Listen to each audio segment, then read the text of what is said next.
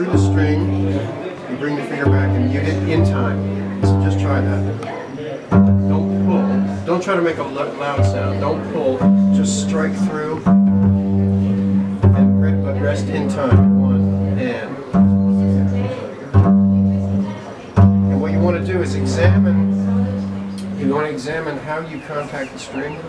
But that now, when you go to the D string, it's going to be a little different because the angle is going to be different. Okay, but the other thing is, think about letting your fingers extend and relax. No, all of them. Yeah. In other words, the, the other, when you do this, that's tension. It takes, like, let me just say, if you're going to shake hands with somebody and you put your hand out, what does it look like? It looks like that. It doesn't look like this. So, I'm using, I'm using only natural state uh, as a basis to do anything on the bass. With the bow arm, the natural state of your arm is not this, and it's not this. It's this. So, you know, that's basically what the arm looks like when you're bowing. Not like this, not like this, right? So the same thing with, the, think about like natural state of your hand, sending energy through it, rather than tensing it up in some kind of artificial way and trying to send energy through it, okay? So then you go, let's go to the D string now and try that. Make sure that you actually bring the finger out in time and mute it. Just lay it on there. You don't you don't pull, you strike through like a bell. Okay? That's it. And you might hear like a little overtone of resting your finger on there. The bell is helpful. Yeah. Okay, then go to the A string. Now notice as you go over, things change in terms of where you contact the string. Uh, don't pull out, don't pull anything, don't let your thumb free, stay, as soon as you're through the string, it's over. Then it's just, you're resting on the adjacent string. There's no pressure, okay? So there's very little effort involved. Okay, now when you go to the E string, there's no rest string. So you can just strike through and rest on your, on your thumb. But as soon as you're through the string, you know, none done of this. Working, you're done yeah, working. you're not. You're done working, right? And the next thing is to get back. Okay.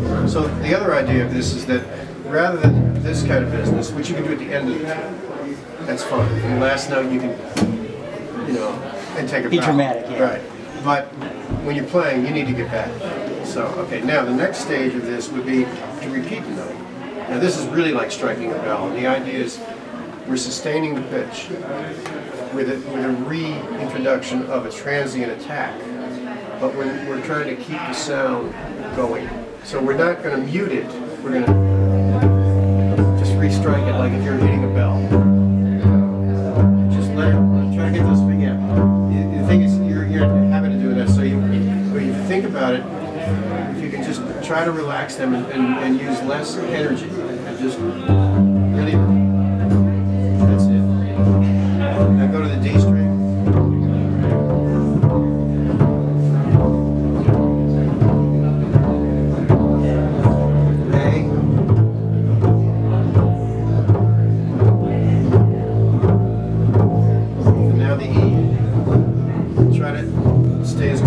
10. Now on the E, you might consider, you know, where your thumb is here, you're going to maybe even get the whole side of the finger involved.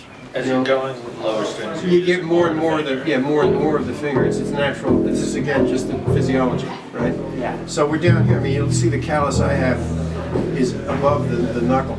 Uh-huh. I mean, actually, that's that's from doing this actually, but I'm actually playing on the second knuckle for the E string yeah. oftentimes. Okay? Yeah, With that this makes one sense. finger. This is just the one finger approach, first of all. Okay, so you repeat on the E. I always recommend doing a little extra time on the E, so you get that controlled better. You know, that's good. That's good. What does it feel like? It feels good, right? But uh, need to callus. Well, you haven't got that yet. So, Yeah. now, and in, in terms of your finger, don't try not to straighten your index finger so much. Just let it be in its. Yeah, that's good. That's good. And you can experiment with, with, you know, at what angles. So you try different where is angles. um, where is sort of the pulling coming Uh, no from? pulling. I There's no pulling. The are you sort That's of the wrong word. it's- We don't pull. The, uh, the is the energy coming from your knuckle or Well, your wrist the or your energy's coming from my legs, Yeah. my large muscle groups. I'm really aware of that. uh, uh, it's about how you stand. It's about shifting your weight periodically, not getting stuck in one hip. Yeah, You know- it's what Sophia was saying this morning about that whole sort of. Right. up- Yeah, it's it's Which- it's Alexander technique Yeah. for bass. Yeah, I mean, it's, it's why I wanted to talk about pizzicato, because I've been, you know, sort of very, we're trying to be methodical about Yeah, the art yeah. of technique. But uh, translate at the pizzicato, it just seems like, well, you just Well, no, pluck the it's, string. no. okay, I got a whole bunch of exercises. So then, um, now, so you can work on that and work slowly and really be aware of the sound you're making and think about the sound you want to make. You know, like, or, or just play with it and accept whatever comes and notice the change in the sound. And later on, and you know, you can think about how it feels. Like, like for example, you maybe you'll notice a lot of transient attack noise or maybe you won't. I mean, depending on which harmonic you're hitting, you realize you're hitting a note up here mm-hmm. wherever you're playing. You're going to hit a note. So the main thing is not to try to make a huge sound. The huge sound actually comes from in here. You know, when you get out of the way. Mm-hmm. It's, that's what we're trying to do is avoid adding extra tension in the arms. Now, you've probably in situations where you've had to play fast for a long time and shoulders start to come up, they start to burn your hand, it's like, yeah, we all know what that feels like. And that's when you really learn to breathe again, drop your shoulders, and play whole notes. If you're doing a jam session gig and the seventh tenor players come up, you don't have to play all those quarter notes. It's not in the job description. Sorry. Sorry, Mr. Tenor Player, we're going to two beat. Sorry, Mr. Tenor Player, we're going to ballad tempo. Sorry, Mr. Tenor Player, you're playing a duo with the drummer. You know, whatever. I'm just saying that old paradigm, especially when somebody's being indulgent and it's this like you know, machismo thing, that's when you need to like check out. Get yourself together, do a little stretching, relax. And if they don't like that, then you shouldn't be there. Or they shouldn't be there. Something. You know, without being judgmental. Yes. Okay, now the next thing would be this nice little crossing string exercise where you use one string as a pivot string. So let's say the G string,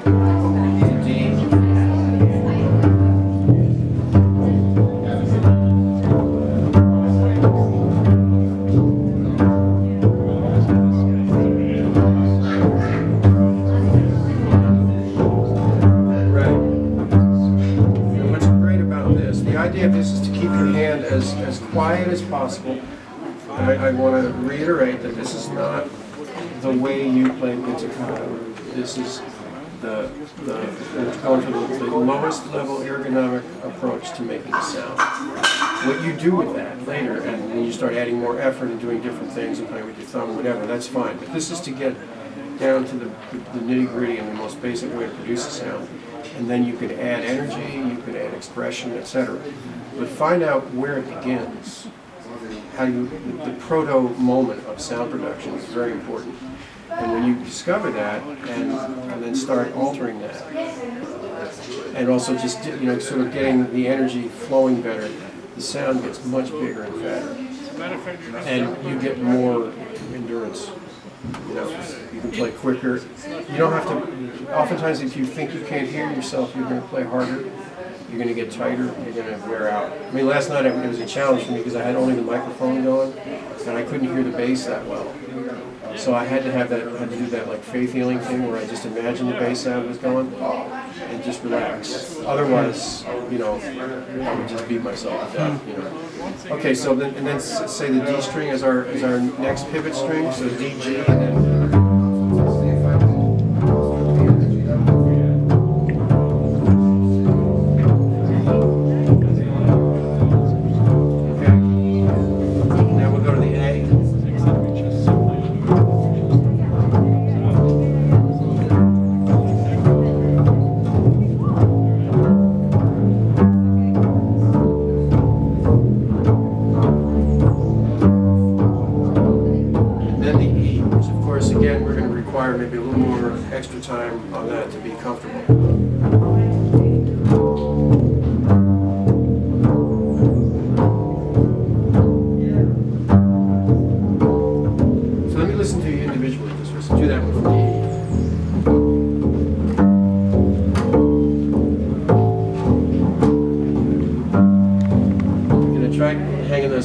It's hard to do follow through on the E and Well, don't, thumb on yeah, don't, just, don't go right into your thumb.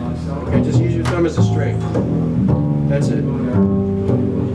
Good. So that what you want to do is you want to think about the relative dimension of the strings and the consequent relative dimension of the sound in relation to one another. So if you find one string sort of jumps out, you have to even things out.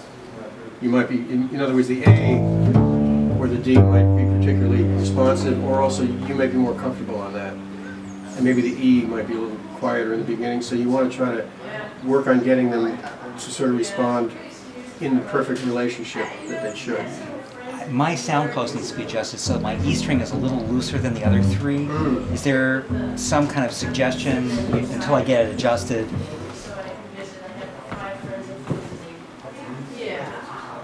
Well, your bridge is not in the right place.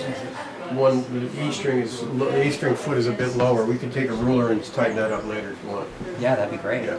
Um, Okay, so let, now, now, the, the idea of this is to stay low. Oh, let me hear you. Yeah, please, sorry. See, you also have this really short fingerboard, which means to get down here, you have like a 30-inch fingerboard, man. Like an extension on that thing. I'm serious. Really? Yeah, because, I mean, look where his is. His This one's pretty short. It's- That's like. it's a little short. That's a B. Yeah, mine goes up to uh, D. But who's gonna play up there on the space? Yours is here. I suppose I would if it was there, but Yeah, so it's like an inch and a half longer than that. So why is that a problem? Well, it, it, it allows you, this allows you to, to keep your Ah. thumb anchor lower and get more projection. 'Cause listen,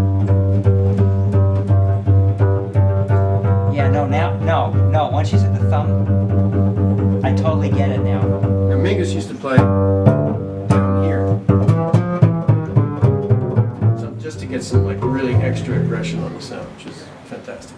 So how's, they just glue something on here? Is that what? Yeah, I put extensions on there. You just cut a piece and put some metal dowels. And, I have a good guy who can do that. yeah. So uh, let me just hear you play from uh, with the crossing. Well, maybe why don't you put your thumb more up here so you're playing sort of into the board with you. Yeah, try that.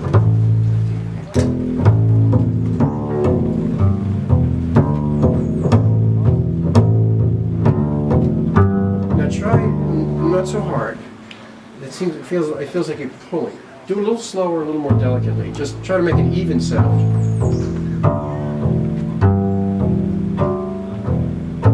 Yeah. See now what you're doing is you're playing on the rosin because the Yeah. you know because you're so so you might want to maybe pitch up on the board a little bit. Yeah. Yeah. There you go. Check out the difference in quality of sound. So E A, E D, E G, E D. Goes a little slower. But don't, yeah, okay, now watch, watch when I do it.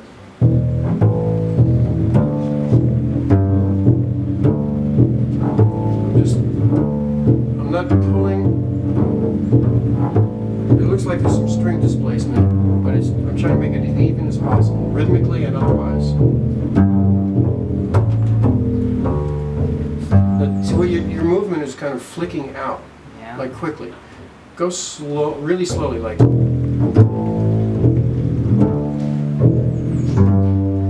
That's it. And you see what you're doing now is you're doing, you're doing a, ma- reaching. you're doing a macro motion, which is great. In other words, the speed of your motion is exactly in rhythm with the speed of the articulation. So the movement is like,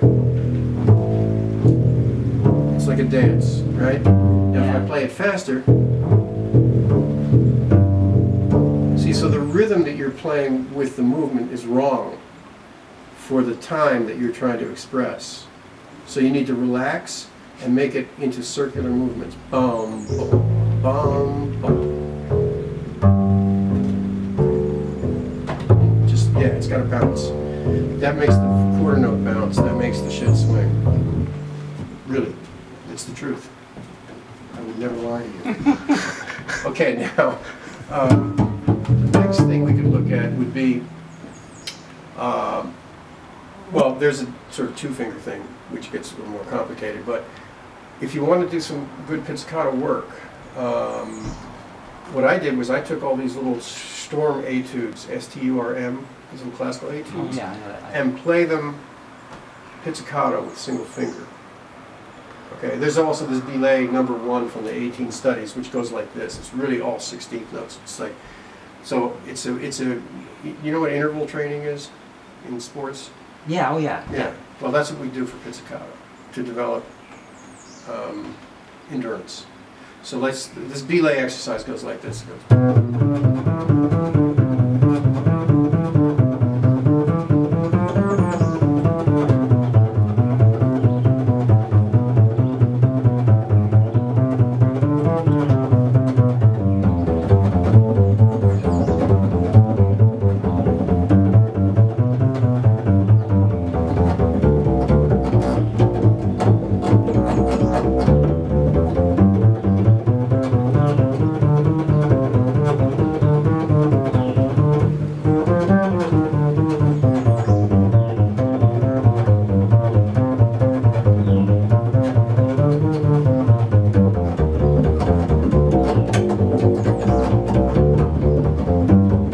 Cetera, et cetera. It goes on for like two pages of 16 notes.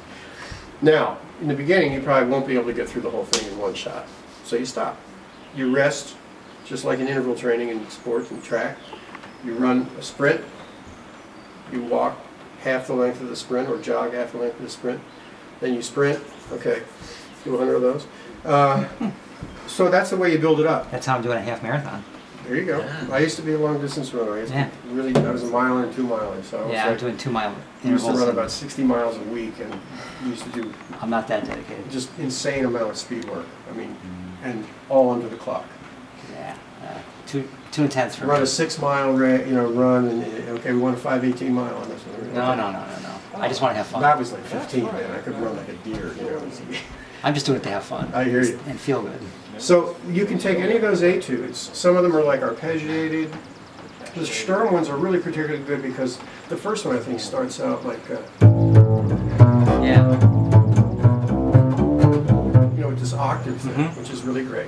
So you can do this with single finger. It's really, what it is is a control so that you can, you know, if you memorize a couple of these things, you can really observe what you're Oh, doing sure, I'll- I'll- technically. You know, I'll, uh, and see if you're, if you're playing evenly. I'll- Play them musically as well. I'll be right You there. know, play them like as solo hmm? pieces, pizzicato, as opposed to playing a marco. You know, using the classical literature, Yeah, right there. pizzicato, can be very useful.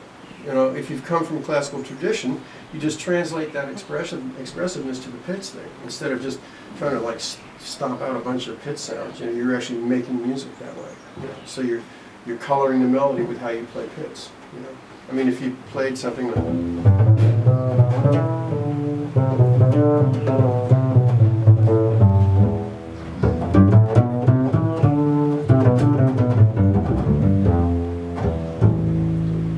Different sound using your thumb, you know. And also, if I play the two finger thing straight across, let's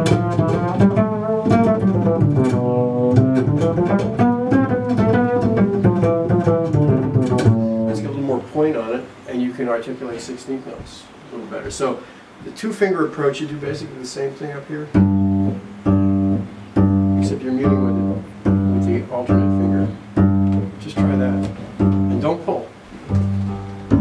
No, no, it's, it's just, put your, you can put your thumb up like this. It, it might be a little uncomfortable. But, see, that's it. Again, in time.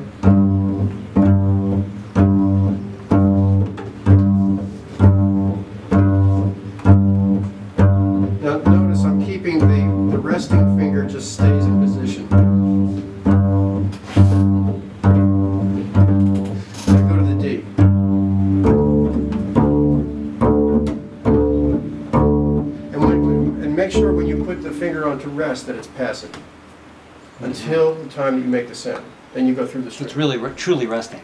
Absolutely, absolutely. It's very important. This is the whole point of this stuff. If, if you don't observe those details, it's useless to even mess with this. Hmm. It's really, that's where the gain is. Because what you're doing is you're, you're examining your pizzicato production of sound and articulation for the first time really, like in a disciplined fashion. Yes.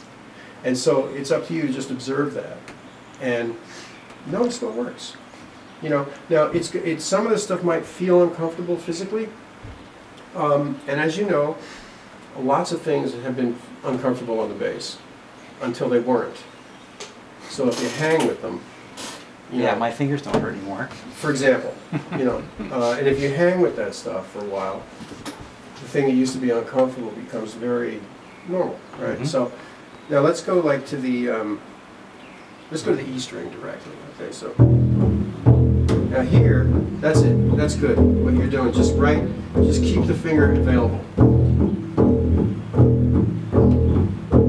So let's go to the repeated note right away, right, but not too fast, like. So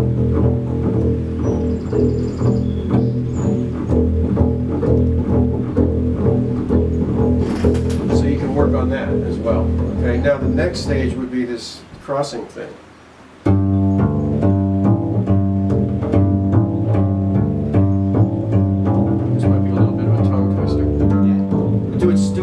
I'm sorry, too, too fast. But it's always alternate, always alternate.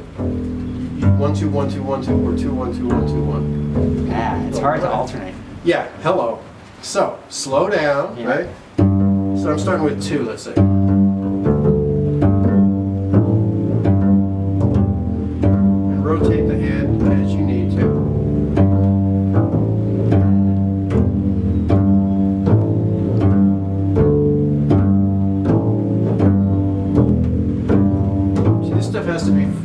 Very Very slowly slowly. and deliberately and economically. And, and then as you increase, you know, the tempo, uh, always bring it back and then bring it back up. When it's, when you hit the wall, I recommend going faster than, than where you hit the wall and then come back to where you hit the wall. Hmm. If you know what I mean, like, if you can't articulate it at this fast, then go faster, and really fumble it up, and then come back to the tempo where you fumbled first, and it'll probably be better. And then go back to the slow stuff, you know. So it's Sort a of- process of going back Yeah, yeah, to yeah. jumping right yeah, back. Yeah, Sometimes you need to. Is get that true with Arco too? Yeah, yeah, same thing with with doing, you know, for, from velocity. Uh, I had a lot of, you know, we used to do a lot of scale practice with, with articulations and different bowings and working it up to pretty ridiculous velocities. Where, what happens then is the movements become what I call macro movements rather than discrete movements. Like, in other words, uh, here, let me use your bow for a second. Like, if you're doing the, the sort of crossing string like uh, spiccato, for example, like you say. As I get faster and faster, if I like double them up, it's like, you know. If I do this like, where's my? I must have put it away. It's okay. Like if you do it like this.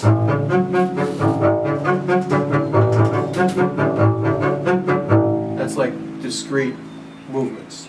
But as you increase the tempo, you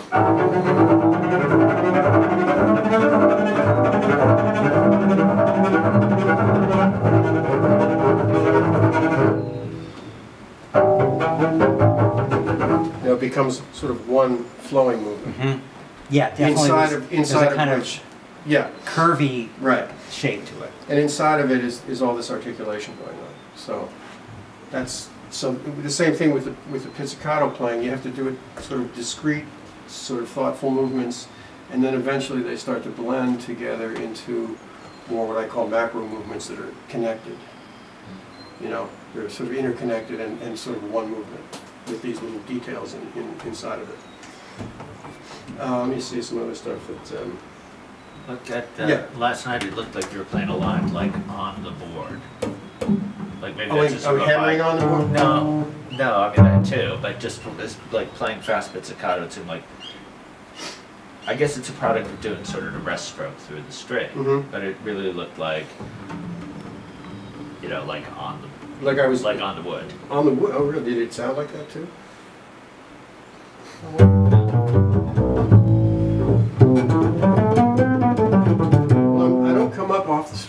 that's for sure.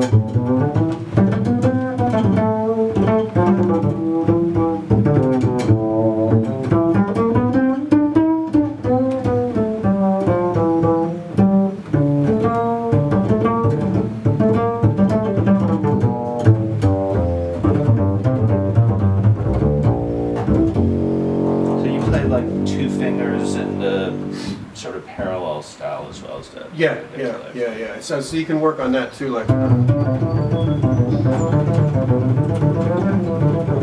You know, do any of those notey sort of 16th note exercises as a calisthenic, actually, in order to get the, the sort of motoric aspect of that one, two, one, two, one, two really, really exact. The other thing is you take those etudes and you play them one, two, one, two, one, two, or two, one, two, one, two, one. You don't vary the fingers, you don't rake across. You actually play each note discreetly every alternate finger, no matter how absurdly uncomfortable it is. And you know, it's a way of sort of pushing yourself into the most awkward situations physically in order to sort of make them not so awkward, mm-hmm. so that when you're improvising, you paint yourself into a corner and you can figure a way out. Same with fingering, too. Like with fingering, you use a lot of alternative fingerings. And you know, you know the Rabbath method of fingering and all. Yeah, be careful of that, but but it's it's useful. It's best to learn both methods and use them when you need to, because I find that the pivoting system can be very nice for a lot of situations. You know, where I need to cover a lot of ground. Right. Plus, he makes you like play all the way up the Yeah. low strings. Yeah, Mhm. and, and I mean another great book is the Petracchi book. Uh, Yeah. The Mengoli etudes, which are playing way all across the bass in, in very extreme registers with with lots of interesting fingering approaches. You know. Yeah, I'm just, you know, just doing that. You know, there, there's a lot of stuff that you just do the whole, all the way up. Oh, but I wasn't talking. I'm talking about there's an etude book. Oh, there's an eight. I, oh, this is this is not the. Yeah, no, that thing is a little boring, but it's got Yeah. it's got all the, the information. So this is another book. This is actually these uh, etudes by this guy Annabelle Mengoli from from not the guy. Uh, In, in, in South America, but the other Not- guy. yeah, not yeah, that guy. exactly. Yeah, we always joke about that. we call my we call my bass. I have a, I have a, a Barbet. We call it Klaus Barbie. you know, it's pretty dark. I know. Mark Dresser and I have a, a whole thing. Anyway. Uh, yeah, the, um, the Mengoli uh, exercises they're, they're etudes. They're they're quite complicated and and they're all over the bass. A lot of upper register stuff, and Petracchi refingered them with these very interesting approaches. So it kind of gets you out of the normal Simandl fingering and into you know a lot of you know rotating the, the index finger behind the thumb and things like that, and putting your thumb in every possible position to uh, you know it, it kind of stretches you out. It's very good. Oh, let me think of uh, some other. Yeah, in, in those etudes, like um, like that one. The,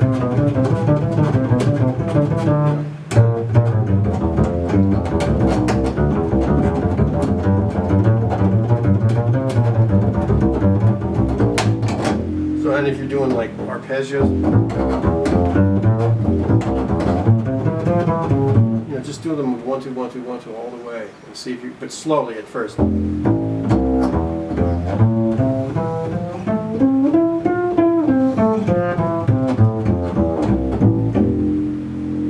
really work on you know producing a good sound. I mean, then there's all kinds of extended techniques. But we have to go to dinner. Yeah. Thank you You're quite very welcome. much. It's a lot of info. Yeah. Know.